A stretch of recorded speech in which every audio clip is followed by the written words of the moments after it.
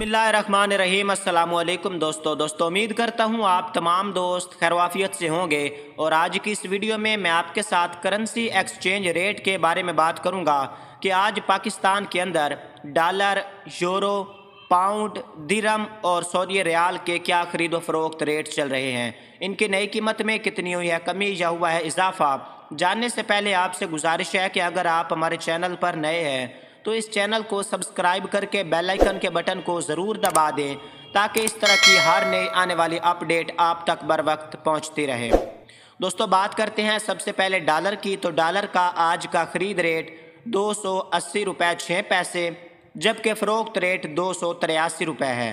बात करते हैं यूरो की। तो यूरो का आज का ख़रीद रेट तीन सौ आठ रुपये जबकि फ़रोख्त रेट तीन सौ ग्यारह रुपये है।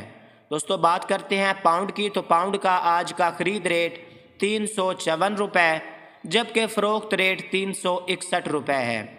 बात करते हैं दोस्तों, दुबई के दिरहम की। तो दिरहम का आज का ख़रीद रेट छिहत्तर रुपये पचहत्तर पैसे, जबकि फ़रोख्त रेट सतहत्तर रुपये पाँच पैसे चल रहा है। आखिर में बात करते हैं दोस्तों, सऊदी रियाल की।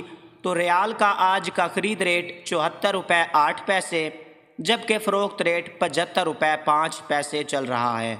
दोस्तों, ये थी आज की अपडेट। मिलते हैं एक नई वीडियो के साथ। तब तक मुझे दीजिए इजाज़त। अल्लाह हाफिज़।